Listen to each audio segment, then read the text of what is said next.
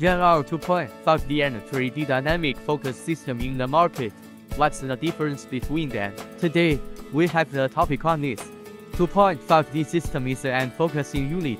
It works with an f-theta lens. Its working logical is the ZX suggests focal length of central point on working field. It binary adjusts. In according to work depth change, the f-theta lens adjusts focal length of working field. Generally, the aperture size of 2.5D system is within 20 millimeters. Working field is focused on small size. It is especially suitable for precision microprocessing applications such as deep engraving, drilling. The 3D dynamic focus system is a pre-focusing unit.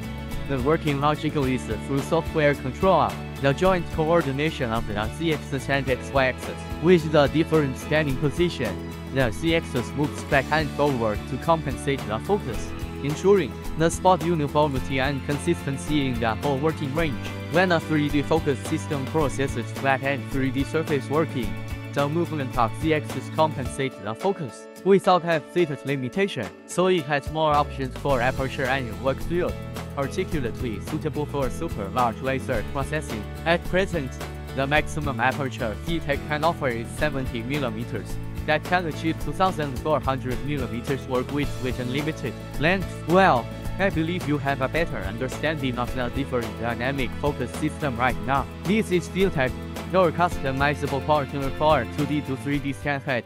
More sharing is coming soon.